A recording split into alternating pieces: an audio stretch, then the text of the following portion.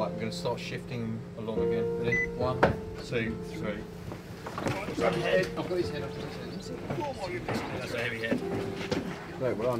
Here we are at Fitzpatrick Referrals, where Boki, our young juvenile European brown bear, is being MRI scanned. As many of you will know, he's under, undergone a number of seizures um, that we're really trying to investigate and find out what's going on.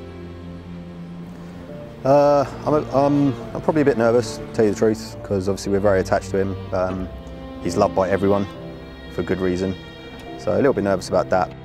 They're doing the scans at the moment, so yeah, hopefully we get good news back.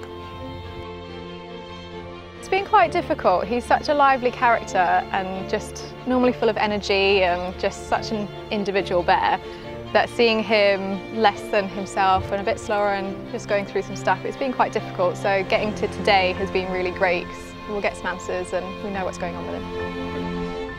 He's been on medication for some time now, um, which has certainly been helping him a lot, but we are concerned that they could just be masking a bigger issue.